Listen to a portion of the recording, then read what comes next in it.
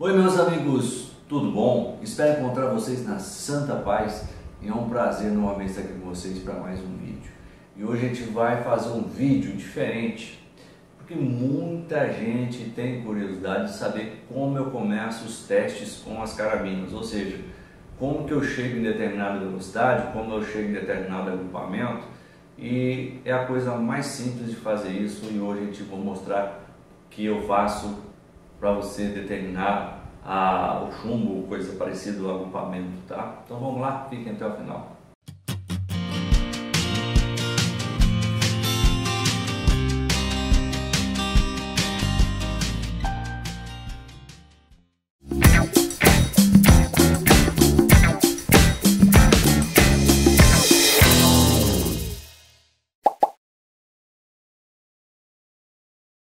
Então, pessoal, antes de mais nada, se você deseja concorrer a uma caçadora nova, né, uma caçadora a mais, é, com cano de 24 polegadas, com um cilindro de 450cc, basta acessar o site Chumos Matador, comprar 100 reais em chumos, te dá direito a um cupom que você pode concorrer no meu sorteio online a uma caçadora a mais com cano de 24 polegadas e o cilindro de 450cc.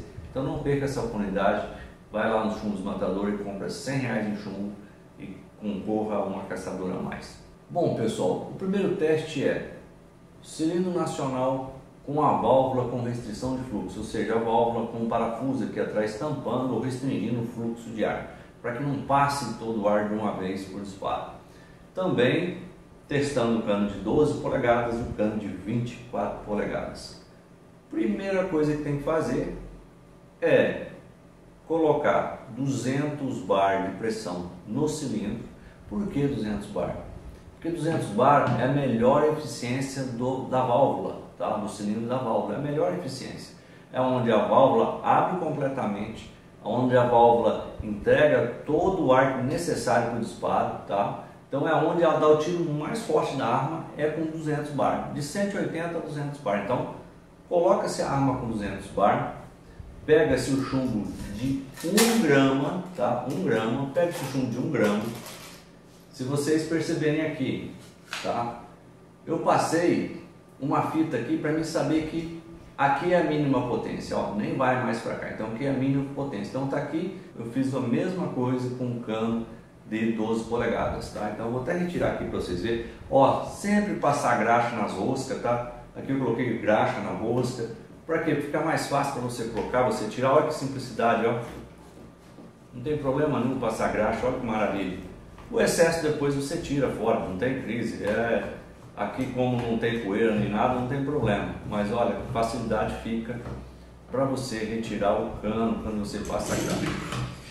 Tá bom?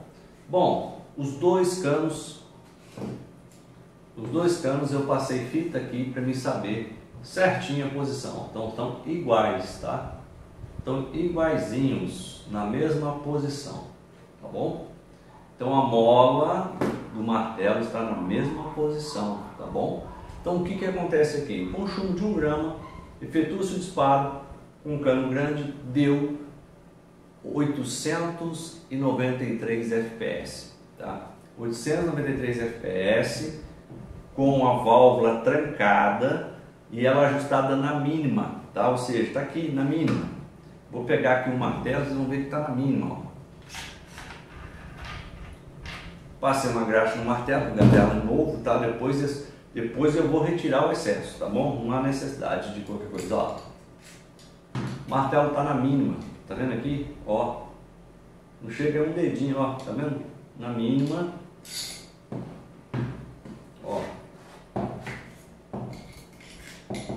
na mínima. Então, os dois canos estão na mínima potência. Tá? Os dois canos estão na mínima potência, ajustados na mínima potência. A válvula com restrição de fluxo, ou seja, não adianta colocar em máxima potência aqui, porque a válvula não deixa sair o ar. A válvula está restrita, a válvula não deixa sair o ar. Com o cano de 24 polegadas, gerou 893 FPS, consumo de um grama, isso dá 36 joules.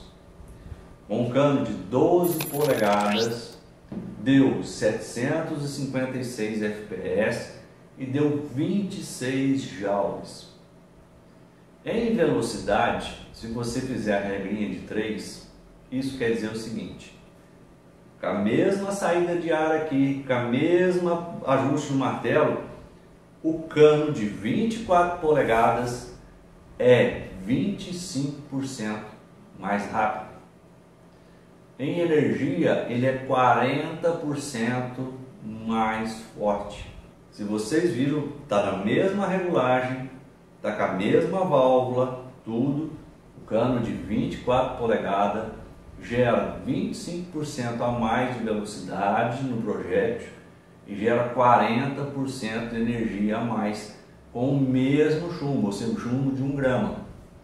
A partir desse momento que eu sei que essa arma gera dessa configuração 40% a mais de energia e 25% a mais de velocidade, é onde eu começo meus testes. Eu sou uma pessoa que sempre começo devagar, eu sempre, sempre começo com chumbos leves, porque os chumbos leves são mais fáceis de você ajustar, porque a arma está na mínima potência, a arma está ajustada com a mínima saída de ar, você pode atirar com chumbo leve e eu sempre dou preferência para os chumbos com cabeça redonda, sempre. Dificilmente você vai ver eu pegar um chumbo de cabeça chata, dificilmente você vai ver eu pegar um chumbo de cabeça é, pontuda, tá? Ou desenho diferente. Não, eu nunca pego. Eu sempre pego começo com um chumbo mais leve de cabeça redonda. No caso aqui, eu peguei o Crossman Premier de 14.3 grains. Olha só, coloquei aqui na arma. Ela gera 40 disparos, pessoal. Ela gera 40 disparos essa arma restringido o fluxo. Maravilha. Tá bom? Deixa eu ver aqui, aqui ó, esse daqui. Porém, de 250 bar a 100 bar, ou seja, de 150 bar é a vida útil dele. O que, que quer dizer com isso? Ele vai dar o tiro mais forte com 180 bar. Então você vai ter 30 disparos, o mais forte vai ser com 26 joules. E dá certinho aqui, ó, a 22 passos, tá? 22 passos dá mais ou menos 18 metros. Olha só, dá um agrupamento mais ou menos uma unha de dedão, tá? Mais ou menos uma unha de dedão que dá o agrupamento. A partir do momento que começa a perder pressão, o cilindro começa a cair a pressão, os tiros começam a cair mais baixo. Vai dar um tiro aqui, um tiro aqui, um tiro aqui, ou seja, começa a abrir o agrupamento. Ok? A 22 passos. Olha só, deu aqui um agrupamento de um dedão. Maravilha, top de linha. Eu já sabia que isso ia acontecer. Porque eu, o que acontece? A arma fala com você, por incrível que pareça, quando você vai atirando, vai ganhando experiência, é como dirigir um carro. É como dirigir um carro. Quanto mais experiência você tem de tiro, mais experiência você tem de PCP, mais a PCP fala com você. Eu já tinha cronografado ela, eu já sabia que ela gerava 25% de, de, de velocidade a mais e que ela gerava 40% de energia, de força a mais o cano de 12 polegadas. Coloquei o mesmo chumbo, o mesmo chumbo aqui no cano de 24 polegadas. Como o chumbo ficou leve para essa energia, vamos dizer assim, o cano não aceitou. Começou, nos dois primeiros disparos já bateu lá em cima, que eu não via onde bateu. Depois eu mirei em outro lugar para mim ver onde estava batendo, pá, regulei a mira e continuei os disparos.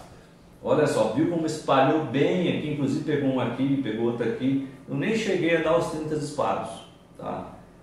Eu já notei, eu já senti que a arma com cano de 24 polegadas, com a energia que ela entrega, ela não gostou desse chumbo. Já na hora, eu falei assim, já fiz a leitura, eu falei, ó, ela não gostou desse chumbo.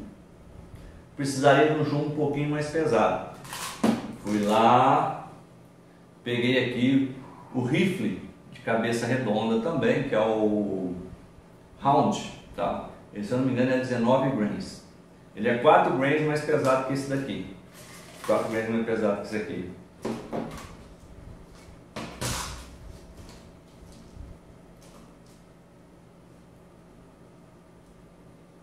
Ó, 4 grains mais pesado. Ó o agrupamento que já fez. A diferença desse agrupamento para esse agrupamento aqui, ó. Tá? A mesma quantidade de disparos.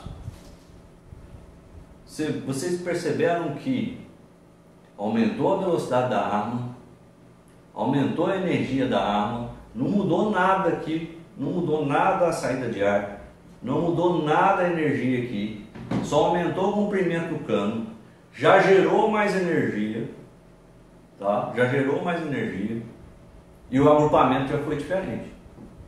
O que, que quer dizer? A arma está falando contigo, ó, eu não gostei desse chumbo aqui. A arma está falando você, eu não gostei desse chumbo. Ou seja, você tem que ir atrás de um outro chumbo, de preferência cabeça redonda, um pouquinho mais pesado, para diminuir a velocidade. O chumbo mais pesado você consegue diminuir um pouco mais a velocidade e aumentar a energia que entrega, porque o chumbo mais pesado entrega mais energia. Ou seja, você diminui a velocidade do chumbo, aumenta a energia e melhora o agrupamento. É bacana isso, né? E a, a, o tempo vai ensinando você a fazer isso, vai, você vai acabando entendendo. Tenho certeza se eu tivesse colocado um JSB de 18 grains, por exemplo, também teria um agrupamento melhor ainda que esse aqui.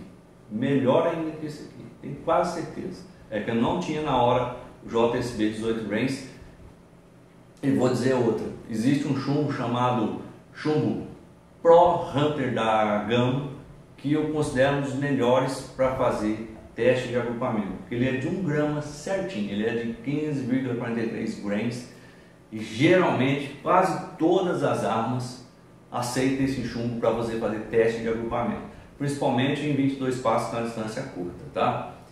Lembrando que em 22 passos esse chumbo de 14 grains ele abriu tanto que eu já desconsidero ele. Esse é um chumbo que eu já não faço mais teste com esse cano de 24 polegadas, ou seja, esse chumbo aqui já está descartado.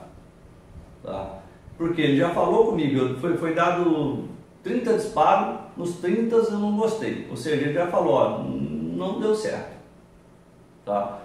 O rifle round já deu um agrupamento mais fechado com certeza um outro chumbo vai fechar mais ainda esse agrupamento. Então o que, que acontece? Sempre se começa os testes com chumbos leves, cabeça redonda, sempre amaciando, começando devagarzinho.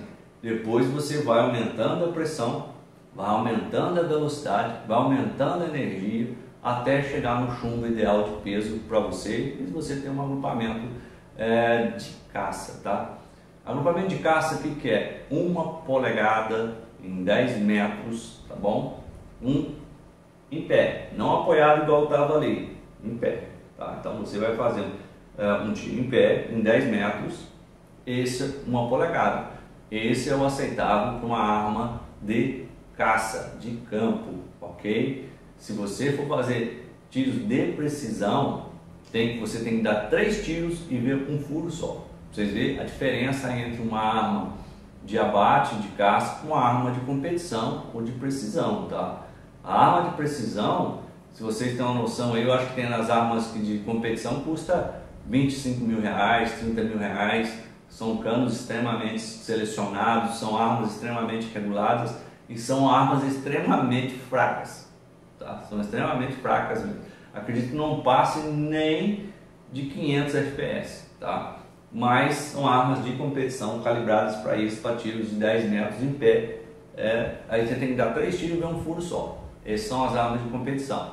Arma de campo, você apoiou, é, você apoiou aqui no braço, atirou, deu três tiros, agrupou uma polegada, é uma arma de campo.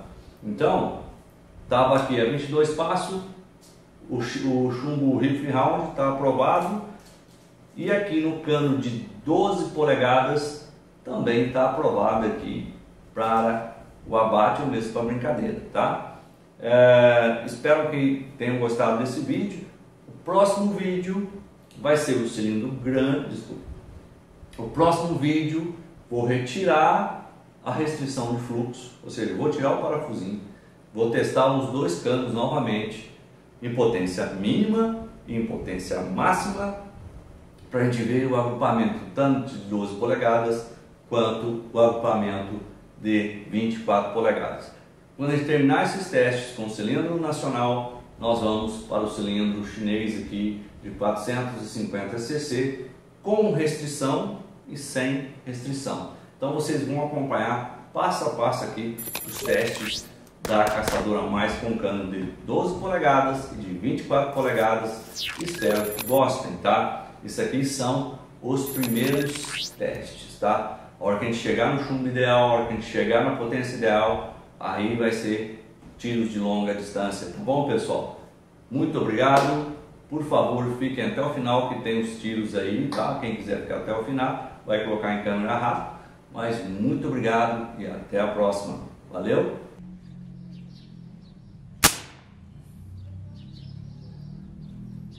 Oitocentos e noventa e três.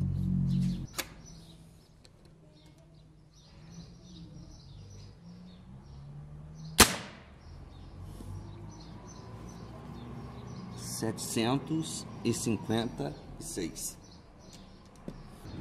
Ó, tiro com cano de 12 polegadas, 756. Cano de uma de 24 polegadas, 893.